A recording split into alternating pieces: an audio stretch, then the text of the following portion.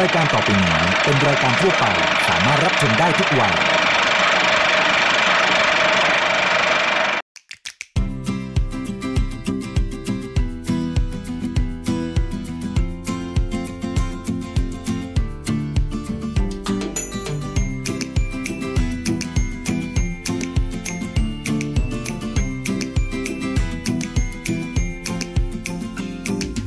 นับสนุนโดยน้ำจิ้มหมูกระทะ และน้ำปลาร้าปรุงรสตราโลโบ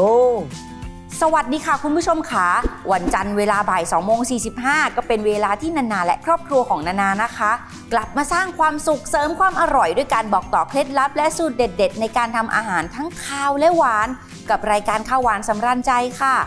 เคยเจอแต่ขนมปังหน้านมกรอบหน้าช็อกโกแลต วันนี้เนี่ยนะ เป็นหน้ากะทิกรอบทำง่าย ขายได้ด้วยนะ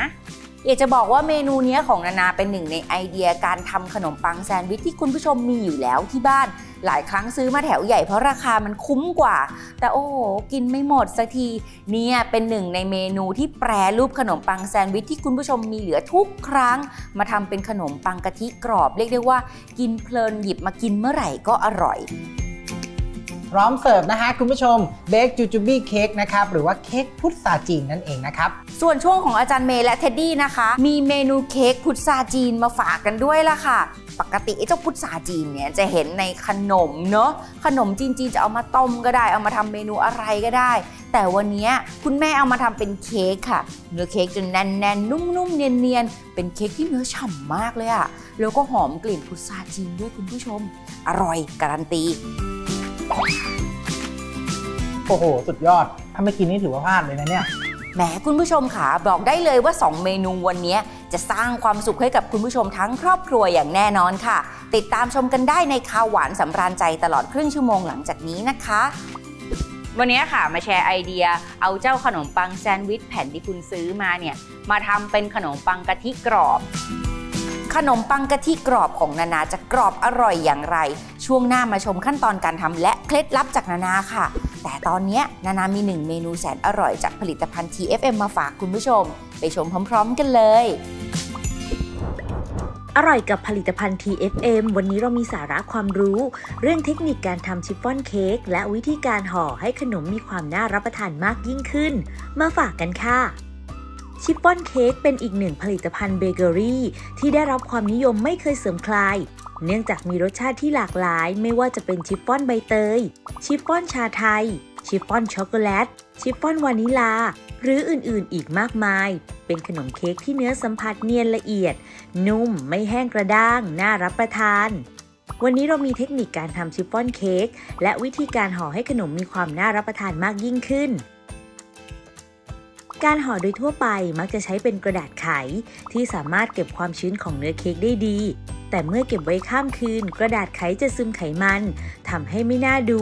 เราจึงมีวิธีการห่อด้วยกระดาษแก้ว ซึ่งมีลักษณะใสไม่ติดมัน อีกทั้งยังสามารถเห็นเนื้อขนมทำให้ดูน่ารับประทานยิ่งขึ้น การทำชิฟฟ่อนเค้กควรเลือกใช้แป้งที่มีคุณภาพ อย่างแป้งสาลีชนิดพิเศษราโบหิมะ แป้งชนิดนี้ได้จากการโม่ข้าวสาลีชนิดอ่อนซอฟต์รีดมีการลดขนาดของแป้งให้ละเอียดอย่างสม่ำเสมอ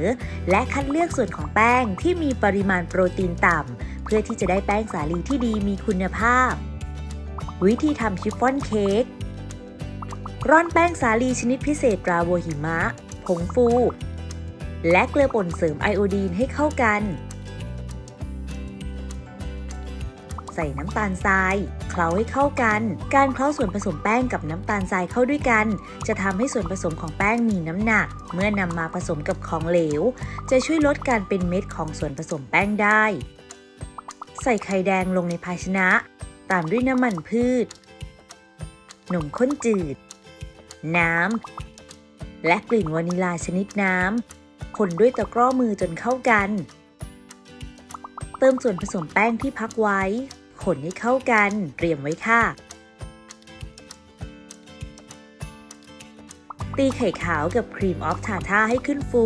ด้วยหัวตีรูปตะกร้อ ตีด้วยความเร็วสูงสุด 30 วินาที ค่อยๆ เติมน้ำตาลทราย ตีต่อจนส่วนผสมตั้งยอดกลาง การตีไข่ขาว ภาชนะที่ใช้ต้องสะอาด ไม่มีคราบไขมัน เพราะจะทำให้การตีไข่ขาวขึ้นฟูยาก จากนั้นปิดเครื่องตักส่วนผสมไข่ขาวครึ่งหนึ่งลงในส่วนผสมไข่แดง คนตะล่อมพอเข้ากัน จากนั้นใส่ส่วนผสมไข่ขาวที่เหลือ คนตะล่อมจนเป็นเนื้อเดียวกัน เทส่วนผสมลงพิมพ์ที่เตรียมไว้ ใช้ตะเกียบคนให้ทั่ว เคาะส่วนผสมหนึ่งครั้งก่อนเข้าอบนำเข้าอบที่อุณหภูมิ 175 องศาเซลเซียส นานประมาณ 30 นาที หรือจนกระทั่งสุกนำออกจากเตา พักให้เย็นสนิทนำเค้กที่หั่นเป็นชิ้นห่อด้วยกระดาษแก้วให้สวยงามจัดใส่ภาชนะพร้อมเสิร์ฟค่ะ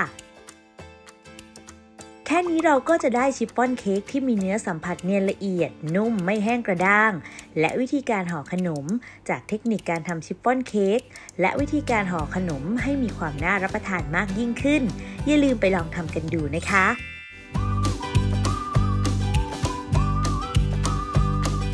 คุณผู้ชมสามารถติดตามความรู้อีกมากมายได้ที่ Facebook อุตสาหกรรมแป้งข้าวสาลีไทย TFM